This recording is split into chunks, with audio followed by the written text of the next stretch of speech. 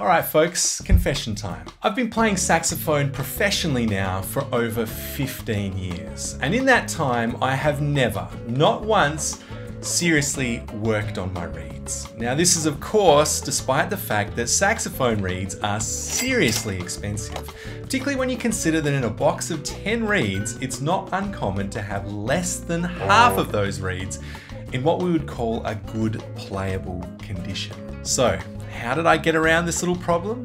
Well, I would pick the reeds that were playing well out of the box and play them until they were completely dead.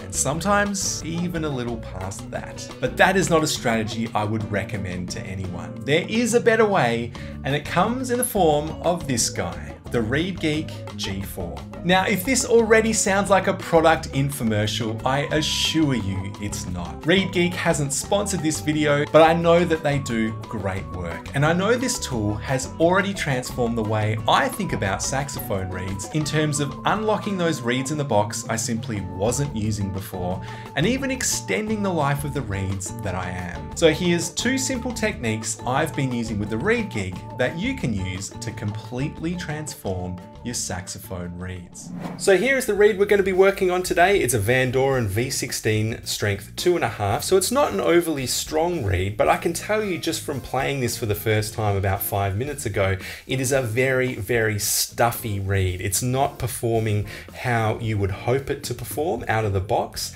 And what we're going to do in stage one of this little Reed Geek tutorial, here it is, is we're going to level the table of this reed. So the table is the flat side of the reed and it's very important that this table is absolutely level so that when we grab our mouthpiece, we can put it on top of there and it gets an absolutely firm flush seal. It's very hard to tell just by this alone, just by looking at it there, if this is sealing properly. But what we're gonna do as a precautionary method, even though this is a brand new reed, is we're gonna level this table now with the Reed Geek. So here's the Reed Geek. This is the part of the Reed Geek we're gonna use, this little curved bit on the end here.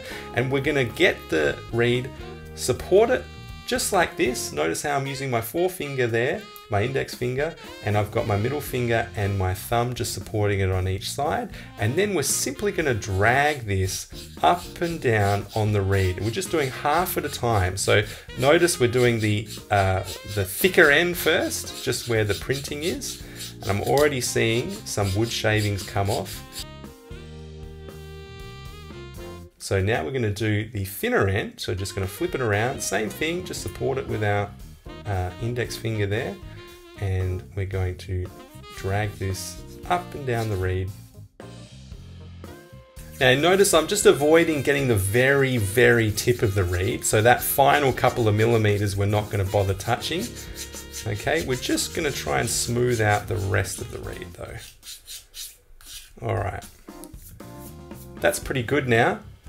So hopefully that will give us a better seal on the mouthpiece. Now the thing is, this is a brand new reed, so we wouldn't really typically expect to get a lot of wood shavings off this because you would hope that it's already quite level. However, as you play a reed multiple times, it will expand and contract every time because the water, the, the moisture in your mouth is going to soak into this reed and into the fibers. It's going to expand and then as it dries out, when you're done playing, it's going to contract again. So this reed will warp over time, just like any other saxophone reed. And so just leveling the table can really improve the playability of your reeds. Um, and it basically guarantees that you can get a nice firm seal on your mouthpiece. Now there is another thing that we're going to do to this reed before uh, we play test it. So stick around and find out. Here's a couple of quick facts about reeds. Did you know that every reed, whether a strength 1 or a strength 4, is cut to exactly the same specifications? Even the thickness of the reeds are identical. The strength, as we know it, actually has to do with the amount of flex in the reed. Reed companies individually test each reed and then assign it a number. The more flexibility it has, the lower the strength, and vice versa. Because cane reeds are grown naturally, It's perfectly normal to expect natural variances in each reed. So although you may play on a size 3 reed, in a box of 10 reeds, you can generally expect to receive 3 or 4 reeds which fall exactly into the size 3 window. These are generally considered the good, playable reeds we all love, but then the other reeds in the box will likely fall either side of that window, some closer to a 3.5 and some closer to a 2.5. Generally, the reeds we struggle with the most are the reeds that fall on the harder side of our ideal window. These tend to be the stuffier, more resistant reeds that are difficult to play. To another player, they may be just right, but to you, they simply won't work. The good news is that these reeds also offer the greatest potential for improvement. P.S. If you want a great behind the scenes look at how saxophone reeds are made, I'll leave a link to the fantastic video Jay Metcalf made over at BetterSax, where he took a tour of the Rigotti factory in southern France. But for now, let's look at another technique you can use to massively improve the playability of your sax reeds.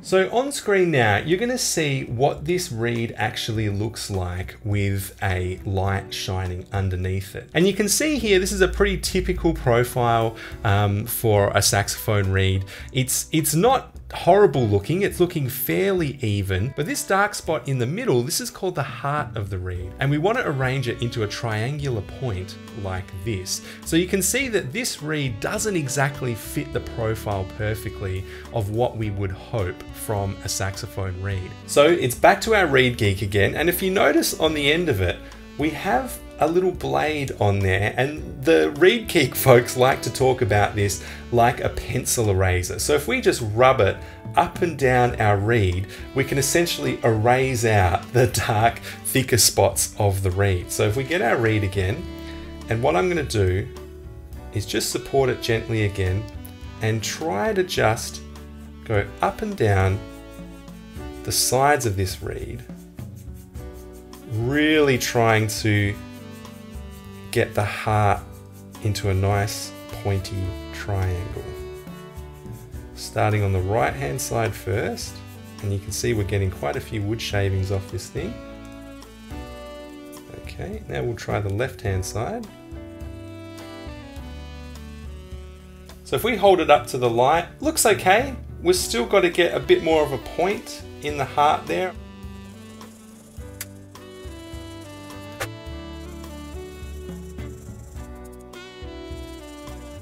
Hopefully you can see now we've got a bit more of a point happening.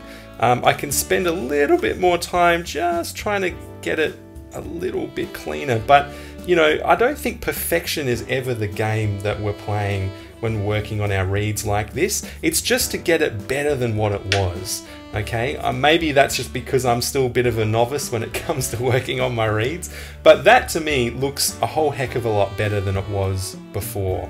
So we're just gonna finish this off just with one more little trick. Just gonna grab our Reed Geek one more time, and that curved bit that we had before that we worked on our table with, I'm just gonna gently run this up and down the top side of the reed, just to make sure that that's kind of nice and smooth and even as well. There we go. That's looking good. Let's see how this is going to play. All right, time for the moment you've all been waiting for. Has the Reed Geek truly transformed this saxophone reed? Here's what it sounded like before I worked on it.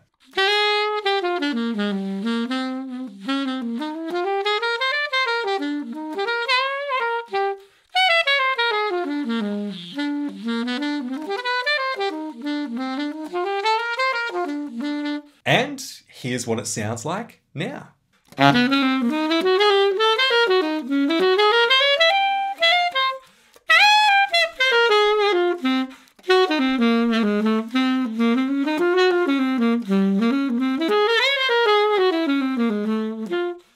Well, I gotta say, spending a couple of minutes working on this sax reed has left me feeling conflicted. On the one hand, the improvement has been massive. Not only do I feel like it's completely opened up the tone, but the feeling and the response of the reed is so much better when I'm playing on it. On the other hand, of course, I feel like an idiot because I spent years tossing out reeds that I thought would never come good, wasting thousands of dollars along the way. Every saxophone player, I believe, now should learn these basic techniques for working on their sax reeds in order to give them that added control over their tone. Of course, don't feel too bad if you're not doing this already because take it from me, it's never too late to start. Now, if you want to pick up a ReedGeek G4 for yourself, I'll leave a link to it in the description below. And finally, if you've been learning saxophone for a while, you've already mastered the basics, but lately you've been struggling to make progress and your practice is a mess. Check out my masterclass on supercharging your practice. In this 30 minute workshop, I'll give you some great exercises to rapidly enhance your playing. Give you my exact practice framework, which you can download as a PDF, as well as some backing tracks to help you along your way. If you lead a busy life, you'll want to watch this workshop because I'll show you how you can still get great results in as little as one hour per week. I've got a link to this workshop in the description of this video. To all our subscribers, thank you so much for supporting the channel. Thanks for watching and I'll see you all again soon.